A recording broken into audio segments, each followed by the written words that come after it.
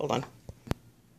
The Big Breakfast, Susan Knight and John Stone. Susan's behind the camera. She talked yesterday about the new trend of having your morning coffee inside a bell pepper. We're going to try the coffee in a pepper.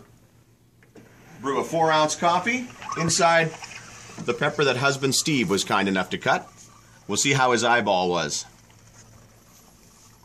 Yellow and brown. I'll let you know he bought it. I cut it. Oh, well, very nice teamwork.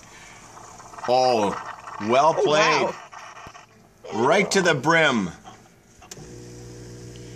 I don't know. Is it going to you taste have it. weird? Bottoms up. We'll see. Hmm. Top of the morning to you.